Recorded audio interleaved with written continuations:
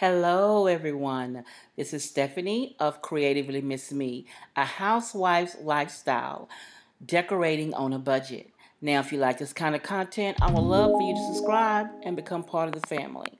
And to the creative family, I want to thank you for your continuing support. Now, today I am decorating my sofa table for the holidays. Now, I just want to bring you along. I'm not doing that much to it, but just giving it a little spruce up because it, it hasn't been here that long. I just received it maybe three weeks ago, two weeks ago. So I'm setting it up for the holidays. So I hope you enjoy it. Let me know down below what you think of my decor on my sofa table.